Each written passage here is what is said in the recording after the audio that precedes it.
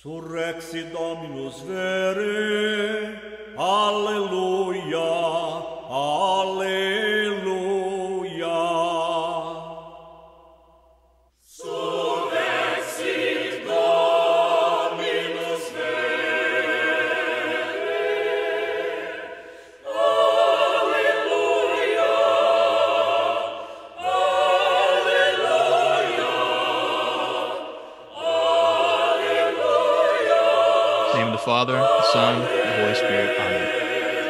Hail Mary, full of grace, the Lord is with thee. Blessed art thou among women, and blessed is the fruit of thy womb, Jesus. Holy Mary, Mother of God, pray for us sinners, now and at the hour of our death. Amen. In the name of the Father, and the Son, and the Holy Spirit. Amen. Through the prayers of our holy fathers, Lord Jesus Christ, our God, have mercy on us and save us. Amen. Brethren in Christ, Laudetur Jesus Christus in Secula. This is Timothy Flanders with the meaning of Catholic. I'm joined today by Sean Mitchell. Sean, how you doing, brother? I'm doing well. How are you, Timothy? Doing very well. Jesus is King. Sean Mitchell converted to Catholicism at the age of 19. He went on to graduate from Ave Maria University in Southwest Florida, where he earned a BA in psychology. At Ave Maria, Sean was the founder and president of the Wojtyła Society, the psychology club, which had the express aim of forming its members to become, quote, students of the soul and students of the person. Sean currently works as a project manager and lives in Georgia with his wife, Catherine, and their three children, Rosie, Elijah, and Colby. You can find Sean's writing at thosecatholicmen.com. Follow the link below to his author page. All of his writings are there. So the, the topic today is logos and psychology. So we have been discussing Jews and Judaism and some of the history, especially in the early years, but we have touched on the modern period. And in this show, we're going to be talking about the subject of psychology, which involves a number of different Jews as well as non Jews.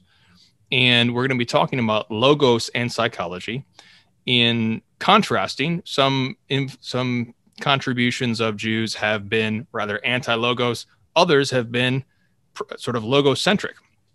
And there's been also non-Jewish uh, contribution. But interestingly enough uh, one of the founders the mo- the modern fathers of psychology was in fact a Catholic priest and his name was Franz Brentano and I want to start uh, Sean by just asking you kind of if you can comment at all on Franz Brentano and what is psychology, basically, because it seems to me that um, so Franz Brentano is so he's a Catholic priest. Ripperger discusses him as uh, making a good start in psychology, basing it on Aristotle, and it seems to me that psychology is essentially uh, an exploration of the subjective and an understanding, trying to understand what is the subjective. Is that a fair characterization of what psychology is, or can you break down what it is?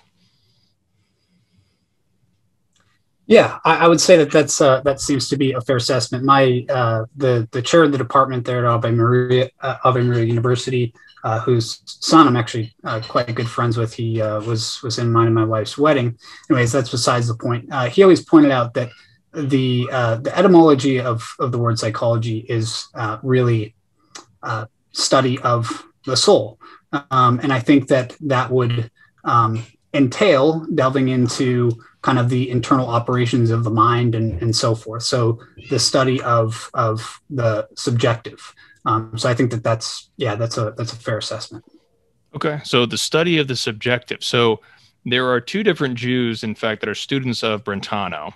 And one of the Jews is Edmund Husserl, who goes on to, he gets baptized actually, and he founds phenomenology. And that's a whole nother topic. We're not going to get into that. But it's sort of a philosophical system, which is sort of exploring the subjective to try to boil that down. But the, his other student is Sigmund Freud. And Sigmund Freud I don't know if you would, uh, Sean. Would you say Sigmund Freud is probably the most influential psychologist of the 20th century? It, it seems to me. I don't know if you would agree with that. Yeah. So yep. so interestingly, in some of the research that that I did for for this show, um, I I realized that um, even some of the psychologists that uh, that I would say have some decent stuff to offer um, are still influenced by Freud uh, pretty pretty significantly. So um, I, I, don't I wouldn't make the claim definitively, but I'd certainly say he's uh, very very influential. Okay, so let's break down what uh, can you try to summarize what are the basic ideas of Freud that have been influential, or what is what is his basic theory? Yeah, so for for Sigmund Freud, um, I would say that we we start with his kind of view of human nature. So, uh, what I would say there is it is uh, basically deterministic, and um, it's focused heavily on instincts. So, in many ways, you can think uh, it's very animalistic. So, um, instincts being sex, uh, I'm sorry, being central to his approach, um, he has this concept of the libido, which would be sexual energy. He later encompassed into this uh, what he would call life, stink, life instincts, um, which would kind of serve the purpose of the survival of the species, if you will, uh, as might be put in uh, Darwinian terms. Um, and then he also later discussed death instincts, which would kind of encompass the aggressive drives um, within us. So I would say he thinks that our uh, our human nature is basically deterministic and is heavily influenced by instinct. Um, so I'll only go a little bit further to talk about what we all know uh, about kind of the the structure of personality in in, in Freud's view. So this would include the id, the ego, and the superego. I would say in my research that the most important of those three to home in on and understand uh, what Freud's thinking is uh, behind it would be the ego. So uh, let's just quickly go through what these are, and then um, I, I, think that would that'll likely cover Freud. So uh, first, we have the the id. So this would be the primary source of uh, psychic energy and the place where kind of the the instincts reside and the function of the id would be to uh, essentially to uh, discharge that energy to find some outlet for it um, and then you would have the the ego uh, which would be the it might be referred to as the executive, uh, and that would kind of mediate between the id and then the real world. And so Freud would say that the ego is governed by the reality principle. Um, so it recognizes that we have these instincts that, uh, in let's say, polite society, might not, uh, well, are not uh, acceptable to simply act upon. And so the ego serves as a way of, let's say, uh, slyly being able to uh, act upon those instincts in a way that is going to be acceptable or otherwise not uh, get you in any trouble in, uh, in, in society. Now, he then has the superego. This might be referred to as the judicial branch of personality, and you're seeing the uh, the kind of uh, allusions to the uh, American system of uh, of government here. But anyways, you would have the the superego. Now, this would be, uh, like I said, the the judicial the judicial branch of personality, um, and it would account for, I would say, it's essentially Freud's way of saying, and I suppose we could say that this is to his credit, but it's it's his way of saying uh, the conscience. Although he says that it represents the ideal rather than the real, um, and it it represents traditional values handed down from parents and from society and so forth. So I would summarize all that to say, and he, he also, by the way, acknowledges that if you act against the superego, which uh, has this, which constitutes this ideal or gives us an idea of the ideal. Um, if you if you go against it, you might feel guilt and inferiority. Whereas if you uh, act with it, you'll feel maybe, as he would put it, pride and, and self love. Um, now, I would say this: that's well and good that perhaps he has some concept of conscience, right, in, in the superego. But his theory plainly states that it's the ideal rather than the real. And I would think that uh, the the issue with Freudianism is it basically says that's not real. And if you can convince people uh, that that's not real and to suppress the the the nagging, if you will, of their conscience, uh, and that the real purpose is to uh, seek out pleasure and act in accord with the reality, in accord with the quote unquote ego, uh, then then you've got a, a, a big problem. So I think that the big thing there is that uh, Freud says that the ego, which is just simply a pragmatic uh, element of personality, is really what's in touch with reality. Excellent. Okay, so I, I want to. Um, could you could you speak about his theory of repression? Regarding the libido. Can you describe what that is? Sure, sure. So, repression, he would say essentially that, uh, as I understand it, that threatening or uh, painful thoughts and feelings are excluded from one's awareness. Um, and so, what this might entail as it relates to the, the sexual libido would be that one suppresses their, say, desire for uh, illicit sexual acts because they recognize uh, via the, the ego that those acts uh, are not acceptable in polite society or could uh, lead to their uh, getting themselves in, in some sort of trouble. And so what Fred's what Freud would say is that they uh, they repress these instincts and these feelings that that arise from them, and this ca- causes um, a lot of psychic en- energy to be stirred up in the unconscious. And what Freud would say is that the goal of psychotherapy, as I understand it, is to make the unconscious conscious. But who's doing that?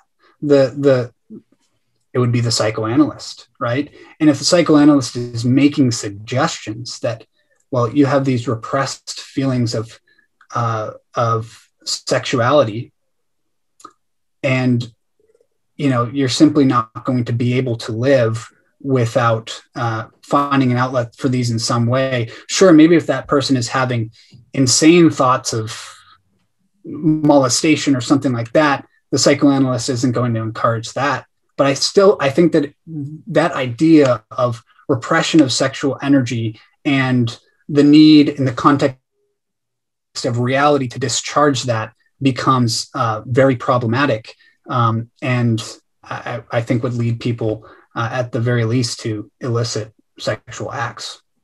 Right. I, I think that the the dip, the most difficult thing about it is that it is has the veneer of science and this is one of the most difficult things about this whole period is is that it is essentially a scientism because it's it's using certain observations which we can observe and then it's making a philosophical claim which is not observable.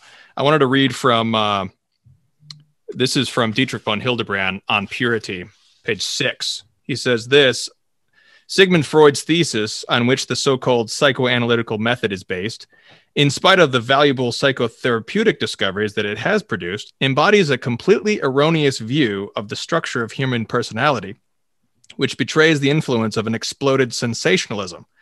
Its first radical error is that it regards the body and the physiological life as the form of the soul, not the spiritual soul as the form of life and the body. So that's kind of what you're saying in terms of Freud is turning the human person into an animal in that he's he's just pure instinct. He's just just a, a ball of emotion and and and these id urges which are just pounding on him. And then he just needs to release because he's an animal. And it seems to be starting with that very deterministic materialistic viewpoint. It turns man into this animal. So let the animal just go is his idea. Um i wanted to here here's a oh by the way i, I should suggest viewers to read uh, ripperger's treatise introduction to the science of mental health by ripperger and which is where he attempts to create a, a firm basis for psychology. And he has a section where he discusses freud which i think is interesting. And he says that there he he he discusses that yes, there is sort of an, a subconscious, and Thomas acknowledges that there are there is sort of a something that's unconscious in terms of natural law inclinations. People have inclinations towards given things. Um, he says this on page 606. Um, each faculty has its proper object insofar as each faculty is ordered towards that object. Human beings are often unaware of the natural law inclination, even though they act on it. This is something unconscious. But here is where Freud and the other and others part company with Thomists. For Freud, these inclinations could not be frustrated without suffering psychological harm and were principally about sex. Whereas for the Thomist, uh, he discusses, you know, the the desire for the conjugal act in marriage is a natural inclination, but if a particular person does not marry and lives chastely, that does not necessarily constitute a case of repression. And this is really based on Aristotle. So, any any comments on some of those critiques, Sean? Yeah. So, and by the way, I'm trying the video again. If if it gets choppy, I'll turn it off. But want the best quality for for your viewers. So, um, yeah, I, I would say uh, there. I think that the most troubling thing that I see um, just in uh, Freudian psychology, as well as uh, some of the other psychologists from the 20th century that that we'll see uh, that we'll likely refer to here, is the categorization of sex as a need per se, right? Um, and they basically lump it in with the need for food, with the need for water, etc. Um, and at that point, you have people like I think it's Wilhelm Reich uh, advocating for adolescent sexuality, right? Um, so I think that that is a, a, a, a major major issue. Um, I will say to to to play devil's advocate, although and and I, I was going to make this point earlier, there is, I suppose, a a charitable reading of Freud. You're probably not going to get that from me.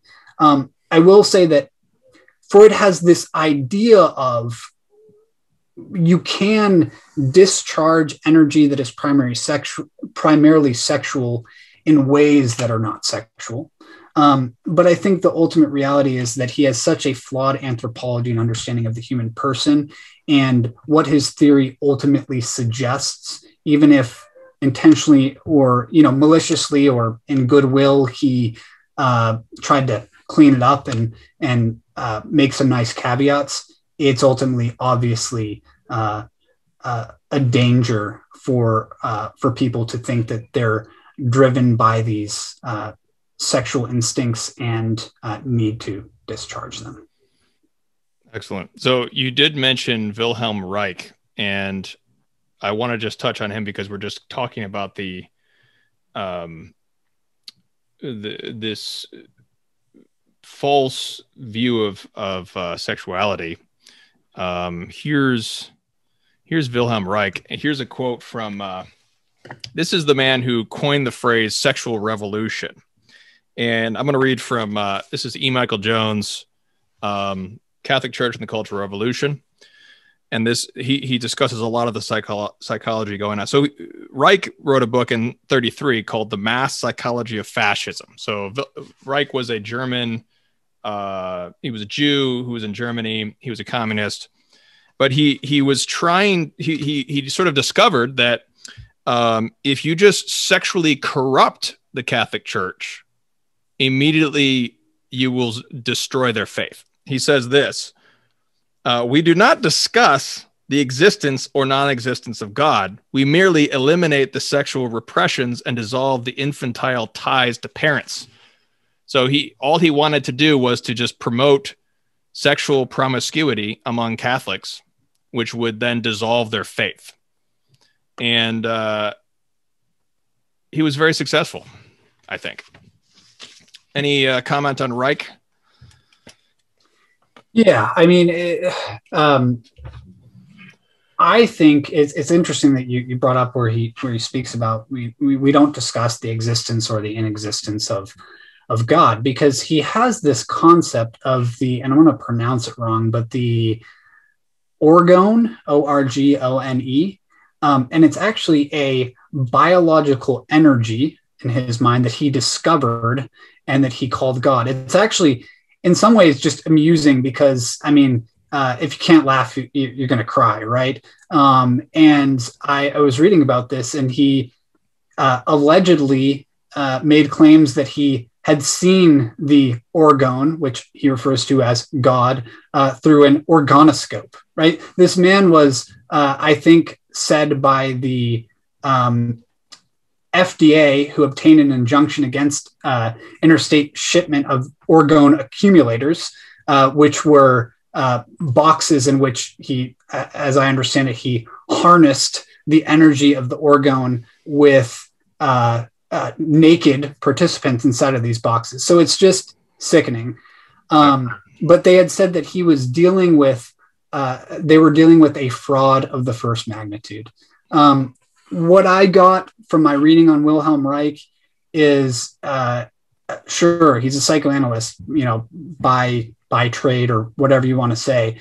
But he, it's really not even worth giving him the title psychologist in, in any sense. Um, it seems like simply at bottom, and you know, I don't want to, I never want to mischaracterize anyone, right? But I think at bottom, his was simply about the discharge of sexual energy.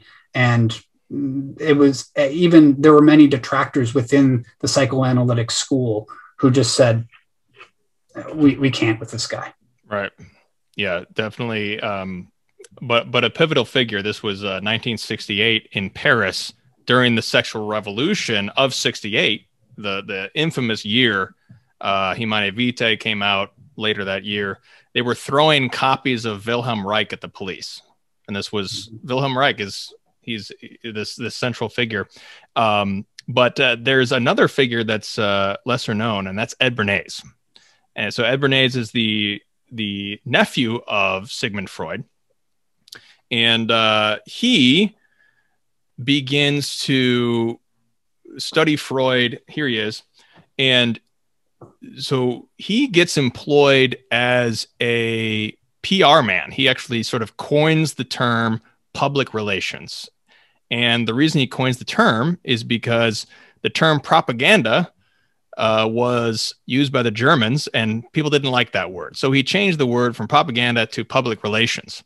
And he was employed by the US government during World War One to promote an image of the uh, US involvement in the Great War as a effort to promote democracy and liberate the world from the tyranny of old ways, etc. And he was very successful in his propaganda. And he realized in the 1920s that the these methods of psychoanalysts and uh, propaganda could be used during peacetime. And he began his work as pu- as a public relations uh, figure. So in the 1920s, what's happening is we have the first sexual revolution. Um, the what you have is um, you know half the men are killed in battle, and everybody comes home, and there's two women to every man, and there's a breakdown of the family. The family structure is, is sacrificed. There, there's an urbanization. Everybody's moving to the city. They're moving out of the out of the rural country. They're losing their culture and their values. There's the the younger youth generation that didn't fight in the war. They've been neglected. Uh, suddenly, they want to just go out and party. And then you have prohibition come down in the United States. So everyone's illegally drinking now. and jazz music hits hits the scene, and all of this is mixed with Freud's ideas. So everyone's there. There's the first sexual first sexual revolution, 1920s. It's happening in, in Europe. It's happening in America, and in the middle of that is Ed Bernays, and he he starts promoting the idea that we can use these theories of Freud, uh, which, uh, like like you said, Sean. I mean, some of these theories are observing real things in terms of you know there are instincts. Obviously, there are irrational instincts uh, and inclinations, as Ripperger's observing, and Ed Bernays says, well, we can make money off of this, and he forms relationships with big business.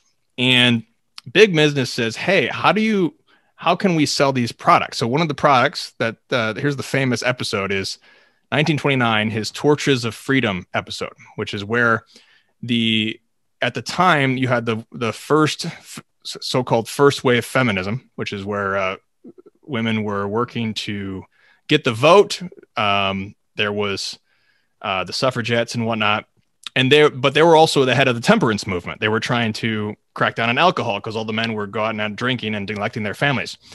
So um, tobacco use among women was taboo. Uh, it was not. It was shunned by women. Women didn't smoke, and so they said to Ed Bernays, "Hey, how do we get the women to smoke?" And Ed Bernays looked at the situation and he said, "Let's create a uh, this public relations, aka propaganda episode, which is where we'll have on the Easter parade in March of 1929, we'll have a bunch of uh, rich young ladies in an Easter parade as an act of feminism. They'll light up a cigarette. And he told the presses to call it the Torches of Freedom. And so you had this event at the Easter Parade in 1929 where you had these torches of freedom, which are just cigarettes.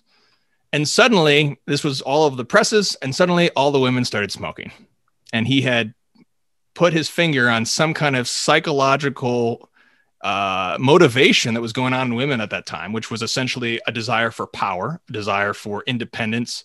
Desire, really, at root, feminism is is really a desire for human dignity because fem, uh, the women had been oppressed by the Protestant regimes for centuries, so they're trying to reacting off of that. But they are, in order to achieve this dignity, they're looking for power, and so Ed Bernays says, Hey, light up a cigarette and you'll get freedom and power. And this propaganda was a massive success. And so the rest is history. Ed Bernays becomes a millionaire uh, just using propaganda, both politically, he's employed by governments and he's employed by big business to simply whip up whatever irrational uh, feeling that the herd is feeling and get them to buy a product or get them to vote or support a war or whatever. And so this is the um, political, economic, and uh, moral effect of this uh, applying Freud's theories through his nephew, Ed Bernays. So, a very important figure. Um, he wrote books called things like Engineered Consent. Uh, I think the title says it all there. Um, any comments on Bernays, Sean?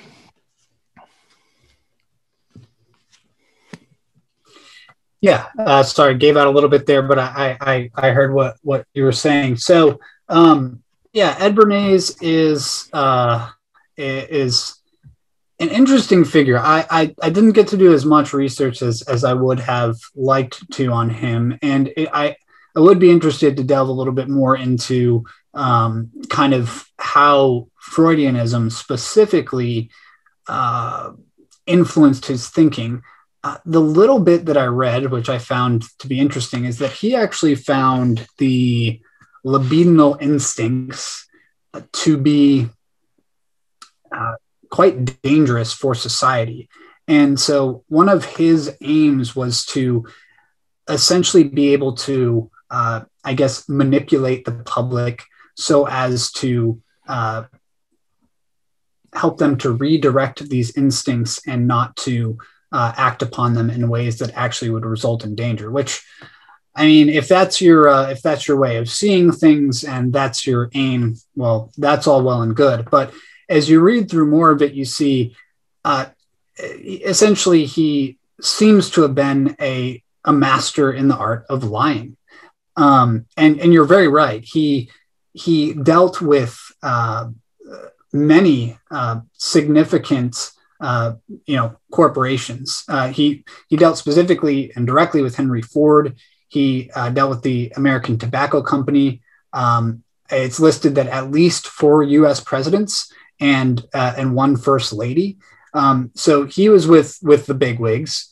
Um, and even toward the end of his life, which, by the way, one thing we didn't mention, he lived to be 103. So just think of how massive his influence was, uh, being born in uh, November of 1891 and dying in March of 1995. I mean, he was alive and kicking for a long time because um, at, at what I had read is that he, uh, until the uh, essentially until the day he died, was having consultative sessions uh, for you know PR relations, charging up to a thousand dollars. Uh, I think it was per session. So yeah, I mean, I, it it would be interesting to delve a little bit more um, into how how Freudianism uh, affected his thinking, but seems to me to have been a uh, a dangerous uh, thinker. I was reading through a list of his uh, quote unquote accomplishments, uh, and I, I, won't name all of them, uh, but one of them that I, I found to be particularly troubling is that he allegedly convinced Americans who were concerned about consuming too much alcohol that beer was the quote beverage of moderation. So, uh, yeah, definitely a, a troubling figure. Uh, his connections to uh, psychology, um, I, I, wish I knew a little bit more about, but uh, he certainly bragged about Sigmund Freud being his his uncle. Um, that was a one thing that I read was uh, known to all who, who knew him. Yeah, so I mean, he's really the he's the one who really created the so much of the world that we live in, I think, because his theories, I mean, this is the 1920s. This is back this is when they discovered how effective. I mean, people have always been using propaganda since uh, uh, Caesar Augustus, but they've never had the technology and the technique that they now have. And this is not a conspiracy theory. This is this is uh, you know anybody looks into this, it's all right there. Um, so yeah, Ed Bernays. So we we've touched on also Reich. Any other um, pre World War II thinkers? Do you want to? I think was Abraham Maslow before. I don't recall, but any. You want to touch on anybody else before we get to um, Viktor Frankl? Yeah, so I, I not pre World World War One. I. I mean, uh, Maslow would have been uh, born prior to uh, World War One, uh, but his you know his influence would have been later. But I, do want to I do want to touch on Maslow. He uh, in my research of him and and he's one of the ones who I was really able to delve more significantly into. I list I listened uh, in full to his uh, to an audiobook of his uh, called A Theory of, of Human Motivation. And I have to say, I was actually surprised because he falls within the the humanist school of psychology, or what might now be called the uh, person centered school.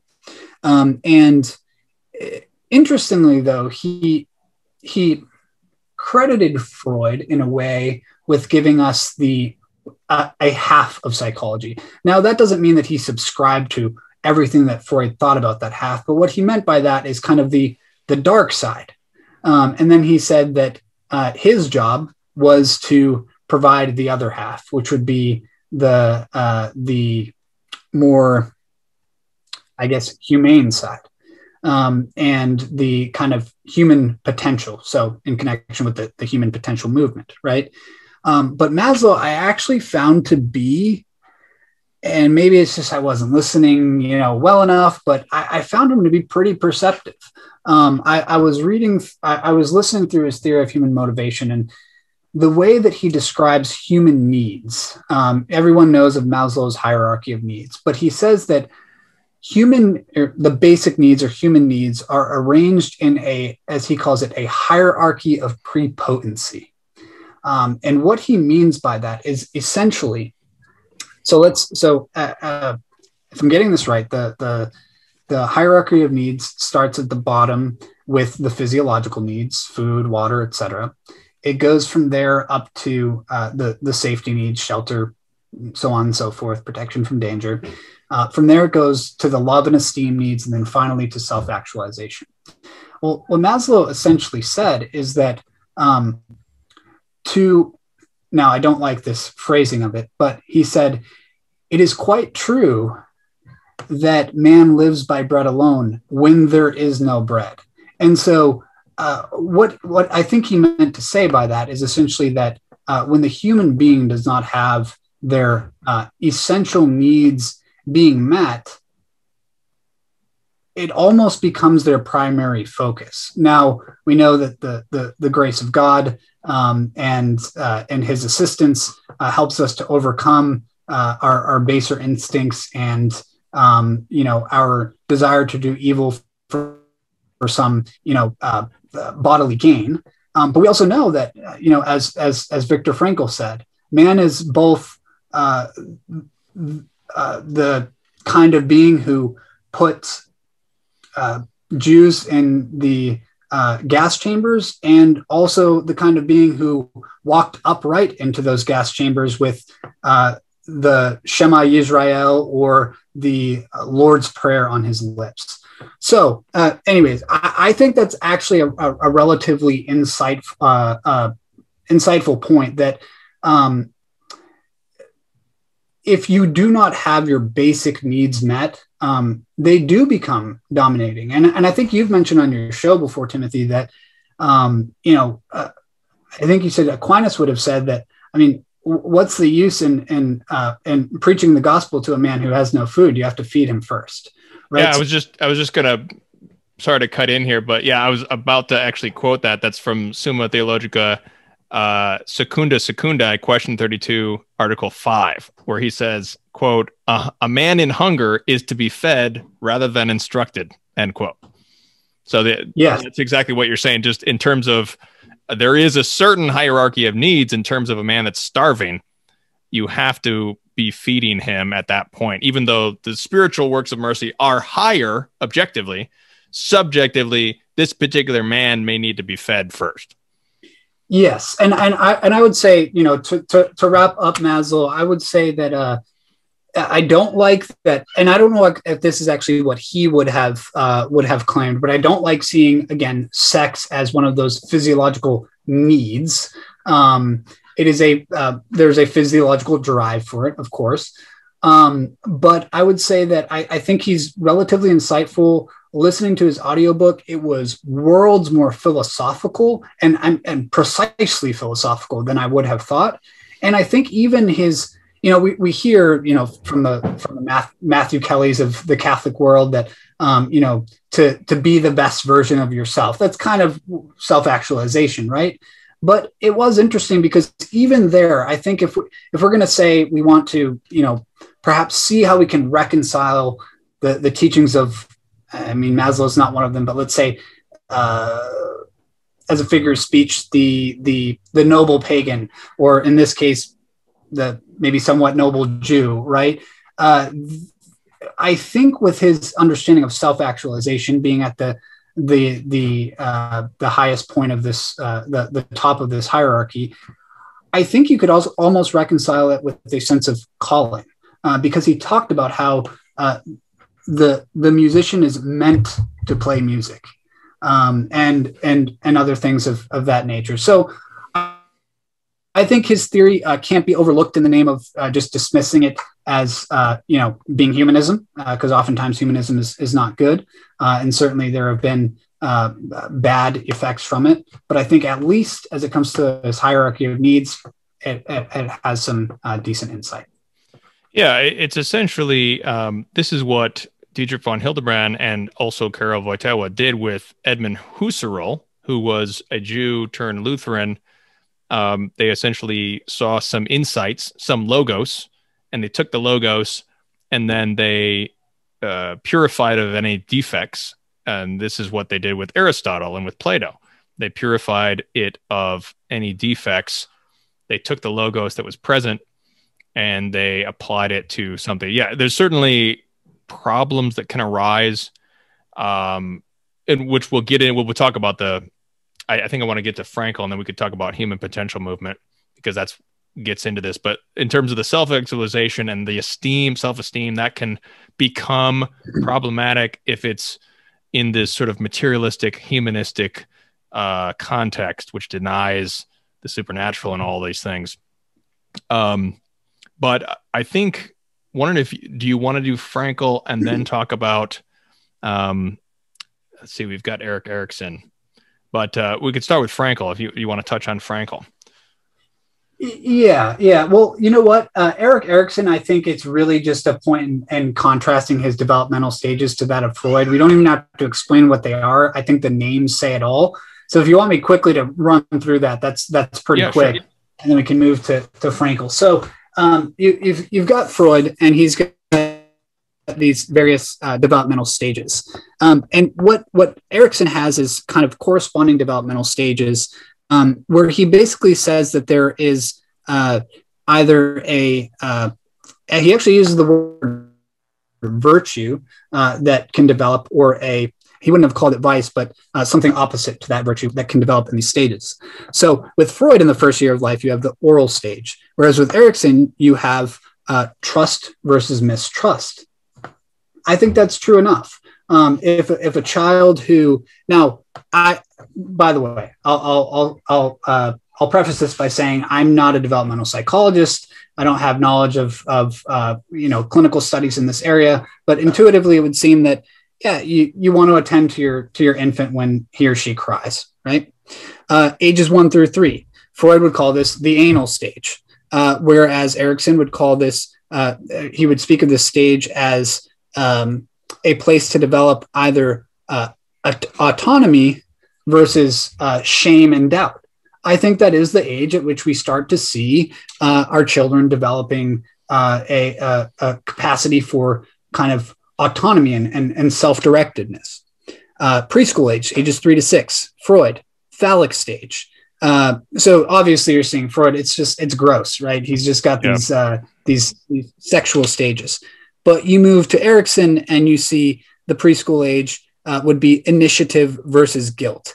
Um, so we don't have to go into all of those, but I, I think the point is to say that Erikson uh, was uh, influenced by Freud. Uh, I, I, think even to, to, some extent stood in the psychoanalytic school, um, but he he had some some good to offer, in my view, uh, to speak of these kind of virtues that can develop at each stage of development. And I'll also add here, uh, just as a side note, and you know, uh, some people might think it's silly, even if you're you're you're uh, a devout and committed Catholic. But uh, at Ave Maria University, uh, in our uh, development class, what we actually did is we we did a little project on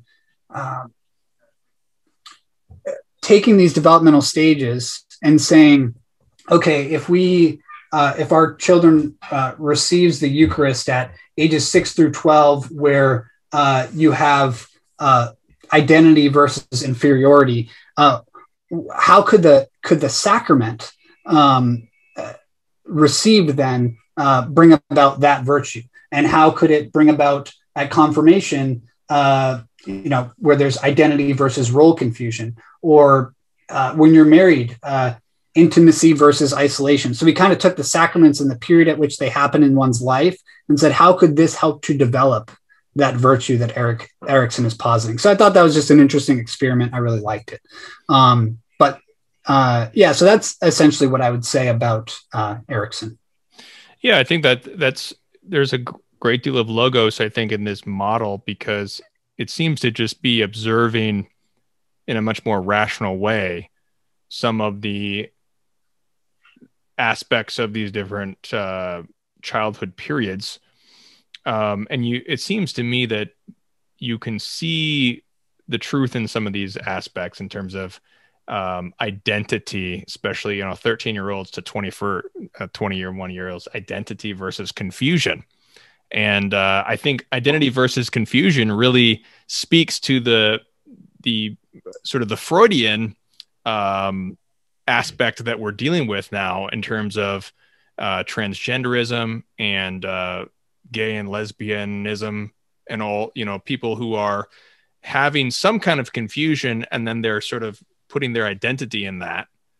And then they're latching onto that as as a part of their being and uh it's a, a, very deep sort of psychological process that they go through um, which needs to be treated with enough um, charity and and compassion to be able to win them over to Christ and to and to the sacraments. Um, so I think um, eh, you know with Freud, you know, just sexualizing everything, it really turns that way, I guess. Um, but uh, any uh, let's see, Frankl. Frankl seems to be has always struck me as as one of the most logocentric of the psychologists because he has a thing called logotherapy. But tell us about Frankl. Yeah, yeah. So uh, Frankl, uh, and I just start by saying, so I, I, wrote my thesis at Ave Maria uh, on on Frankl, and uh, the thesis has an odd and uh, I guess boring sounding name. It was uh, human motivation in the context of God's divine plan of salvation. Um, and anyways, so I, have I've done a, a, good bit of research on Frankl, and, and I think I have a decently under, uh, solid understanding of his thought. So uh, with Frankl, I, I, think the first thing that we'd say is that um, his theory, and this might at first sound bad, but is, uh, as he would have put it, essentially concrete and subjective.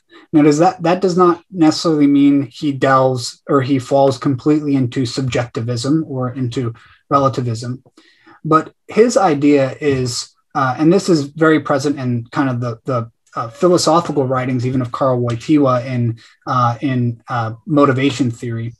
Uh, but he, he posits that uh, reality presents itself to us.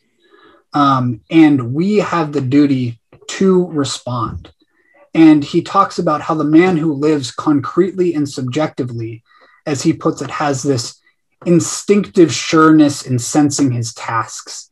He seems to me to just be a man who had common sense, had a very uh, uh, real uh, intuition about the natural law, and uh, and had the strength to live it out.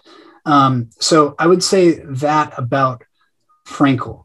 Um, he also has, you know, we could talk all day about what a, a real solid anthropology is, uh, but he talks about a man as, as he puts it, as a as a layered structure. Uh, so you would have uh, the the body, the psyche, and the spirit. So he does have this concept of a of a spiritual soul, um, and and he even talks about um, how, for example, in love between a man and a woman or uh, between parents and children. Um, love has its greatest value in, as he would put it, fixing itself on the spiritual core of the beloved. Um, so, and and in having knowledge of uh, of that spiritual core of another, kind of comprehending that person, and I think uh, you and I both, as married men, could say that uh, we benefit greatly from our wives' uh, knowledge of ourselves even more than we know ourselves. Uh, so I found that to be uh, really beautiful. Um, and he, yeah, so frankl has has a lot uh, that's good to offer, and I would never want to denigrate any of the the great things that frankl um, posits. I would say that there there is an issue in his thinking, and uh, in my thesis I touched on it and kind of added the corrective for it in the works of uh, of John Paul II or, or Karl, Karl Wojtyła. So the issue is that Frankl speaks of well, first of all, he talks about how uh, there there may be, and I think he would posit that there is a, an ultimate meaning. But he would talk, he would speak of this as a super meaning, and the implication being, and he essentially states this explicitly, that it cannot be known or to maybe take a, a, a, a lighter interpret, interpretation on that, that it can't be comprehended. Um, and he and he says that really there's no use in man speculating on the ultimate meaning of life. Um, he said it's not so much that man is to question as it is that man is questioned by reality itself, by life itself, and called to respond. Um, and he talks about, though, how man has uh, he has this doctrine of existential frustration. So, existential frustration uh, pertains. It, there, there are different kind of modes of existence he talks about. So, just existence per se. Uh, so, kind of, I guess, being ontology. Um, but then he he he also talks about you know ultimate existence or ultimate meaning. And his doctrine of existential frustration would posit that um, uh, by not knowing uh, the the the meaning of existence, man is uh, man experiences frustration, and but he just encourages them nonetheless to uh, focus on the concrete and the subjective subjective to see the meaning behind each concrete act in our lives, to see the meaning behind each case of unavoidable suffering and how it can mature you and how it can uh, grow you and, let's say, self actualize you. Um, to find the meaning behind the toil that you do in your work on a, uh, on a daily basis. Uh, so he encourages that very concrete and subjective way. But the problem that I see in that theory is, and by the way, I, am I'm, I'm stating all these problems about Frankl, but that's just because I've done so much research. He's worlds better than than the others, right? Uh, that most of the others that we spoke about. Uh, but the problem that I see with that is that uh, those concrete, the concrete and the subjective, those things in which, as he would put it, reality is presented to us and its meaning, is still connected to that super meaning. And so man is still going to question uh, and and be uh, compelled to eventually question that ultimate meaning, where he would end up frustrated nonetheless.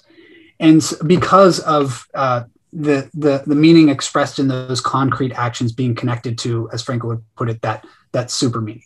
It's all, it's all one and the same, but that super, that ultimate meaning is just not knowable. So, uh, what I uh, perhaps we can finish with this. It delves a little bit away from psychology, but what I posit is that um, what Frankl was missing was the salvific meaning behind these concrete and subjective actions. So, for example, the salvific meaning behind our work by uniting, as, as John Paul II said, and I think it was Laborem Exercens, he says uh, that uh, all work, whether manual or intellectual, uh, is linked with toil. And to uh, unite ourselves to the sufferings of Christ is uh, to participate in the playing out of our salvation. Um, in marriage, as, as, as John Paul II would have put it, the, the dignity of every man is assigned as the task to every woman, and the dignity of every woman is assigned as the task to every man.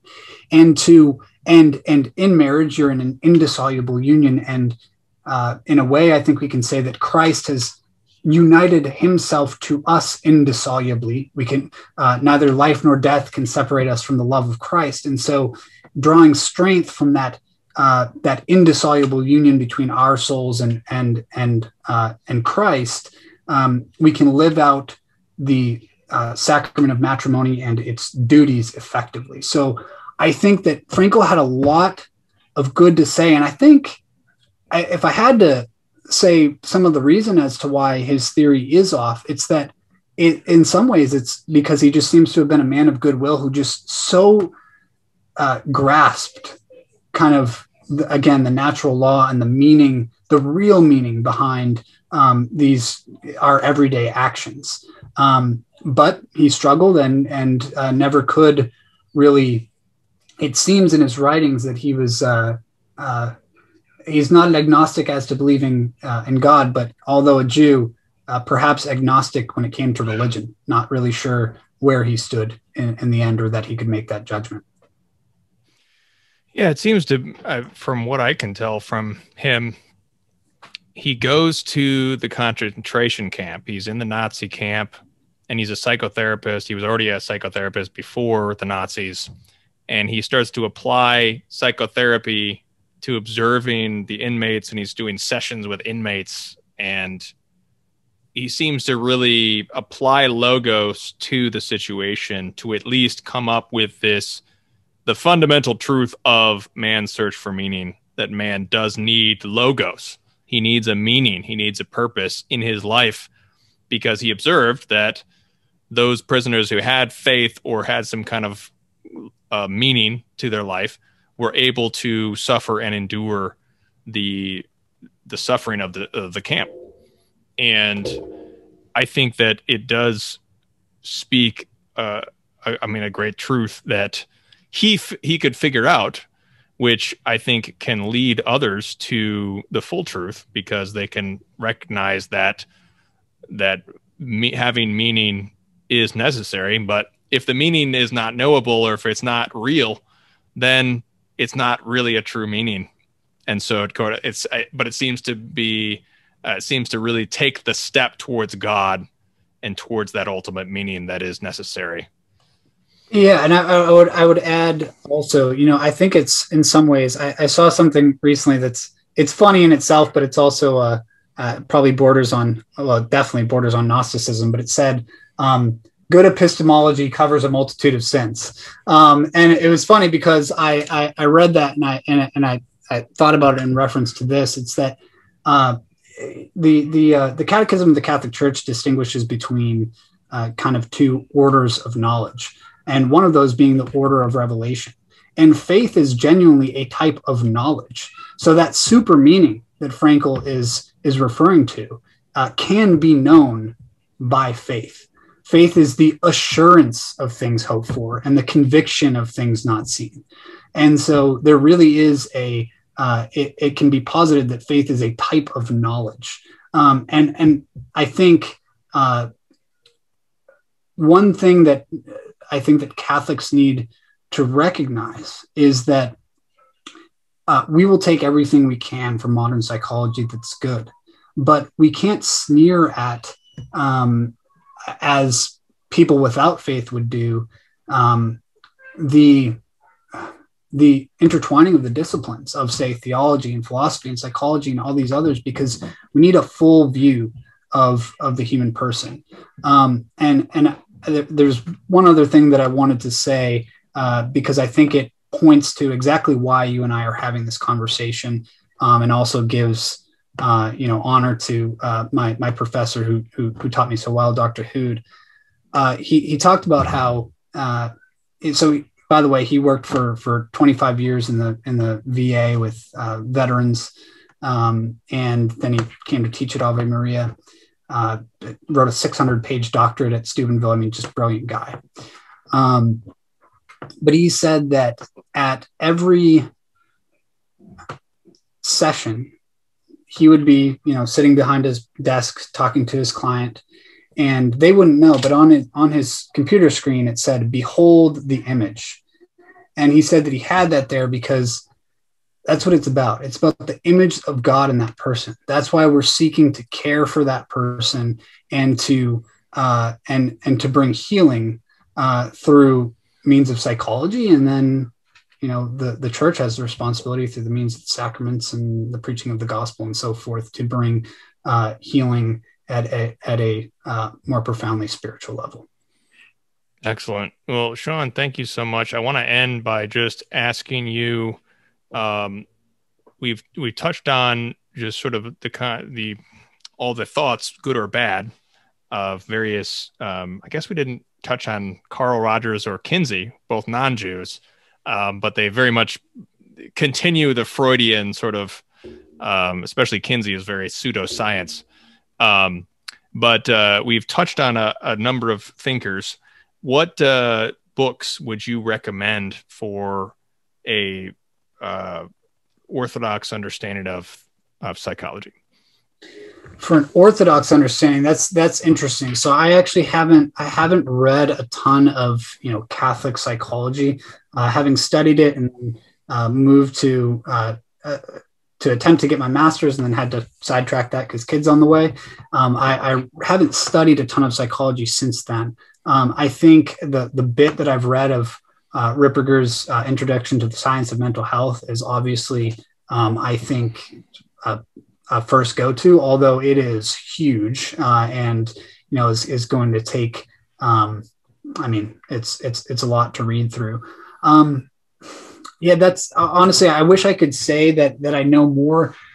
There is one, and let me see if it's if I can find it up on my uh, bookshelf here. Um, so, uh, you know, I'm not going to say that this is uh, necessarily the uh, would bring us to orthodoxy, but uh, I've heard that it's decent. It's by a more uh, charismatic figure, uh, but it would be uh, "Be Healed: uh, A Guide to Encountering the Powerful Love of Jesus in Your Life." And uh, I, it's it sounds like it would be only spiritual, but I I I, I believe it has it integrates a lot of psychology into it. So, fortunately, I wish I could say more, but that's probably the best I can offer. Okay.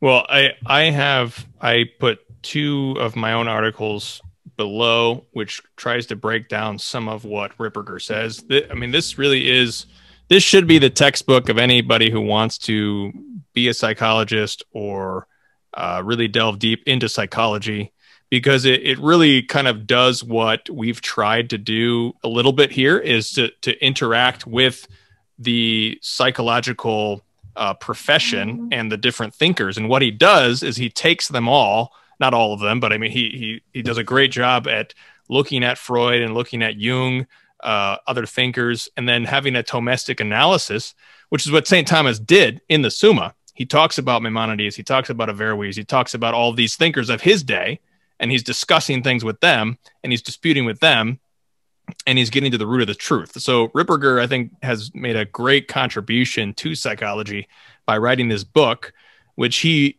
he intended to sort of ground psychology in a Thomistic, realistic philosophy.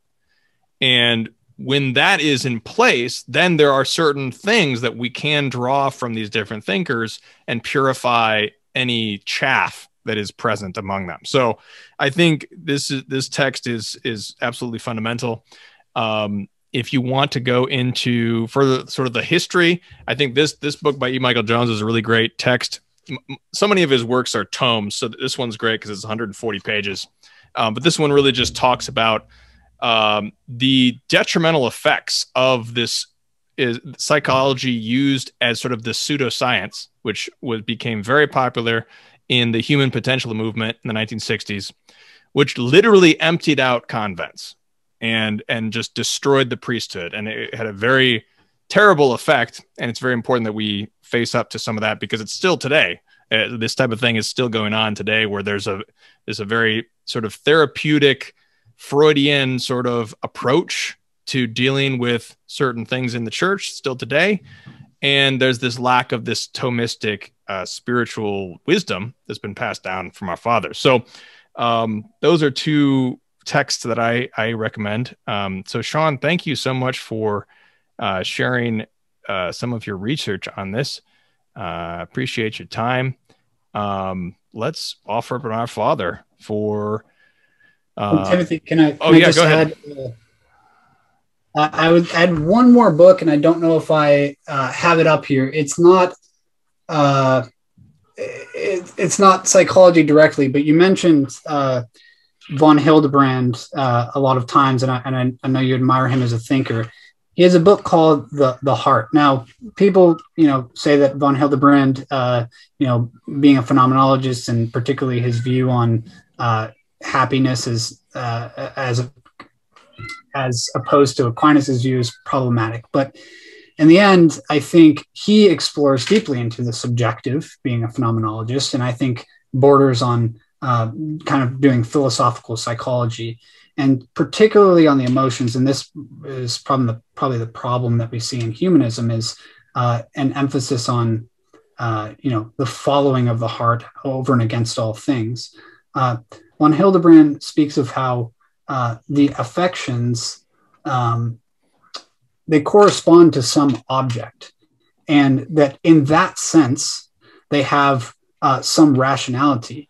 Um, but we need to be able to assess when we're having experiences of emotions uh, why those are, um, and also to recognize that, for example, if in prayer we have uh, an experience that uh, that includes emotion, that is because, as von Hildebrand would put it, there is a there is a value response, um, and it's it's a response to something outside of ourselves, namely God, meant to draw us out of ourselves to worship of Him. So, anyways, I think von Hildebrand just has a lot of good kind of correctives to perhaps the humanist school, and just is a great figure, although not a psychologist directly.